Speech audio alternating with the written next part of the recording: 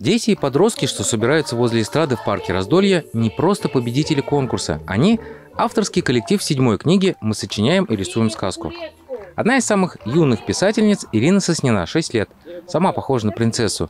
Ее история про крокодила, который отличался от родных, потому что был добрый и еще хотел летать. И гуси взяли э, травку и, и сказали, чтобы, чтобы добрый крокодил на эту травку залез, они взяли травку, и, и он полетел.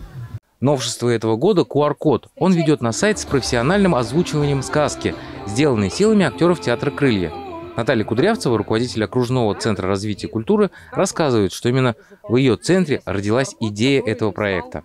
Эта история очень интересна. Это конкурс, который называется «Мы сочиняем и рисуем сказку». И зарождение этого конкурса произошло у нас в центре семь лет назад. Наталья Валерьевна делится, что создатели конкурса продолжают следить за судьбой авторов всех изданий проекта, и особенно тех, кто попал в первую книгу. Просто есть определенные условия в конкурсе.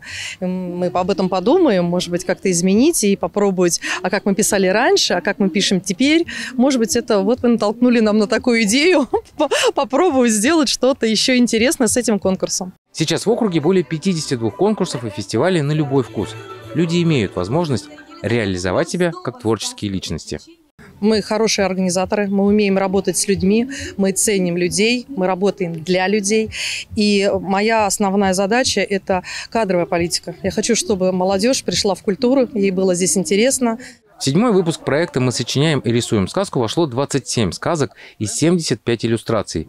Если есть возможность, постарайтесь найти эту книгу. Вполне возможно, что вся серия скоро станет раритетом, ведь уже сейчас интерес к проекту вышел и за пределы округа, и даже за пределы Московской области.